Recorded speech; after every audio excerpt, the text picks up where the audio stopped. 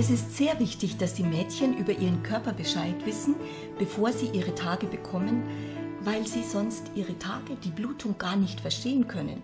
Dann geht es ihnen so wie Menschen, die beispielsweise in ein Theater gehen und eine Show und dann sehen sie einen roten Vorhang. Und irgendwann geht dann der Vorhang auf und dann sehen sie nur eine schwarze leere Bühne und sonst nichts.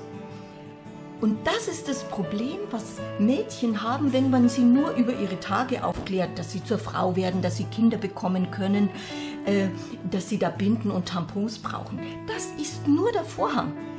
Es ist wichtig, da zu wissen, was im Körper der Frau sich eigentlich abspielt.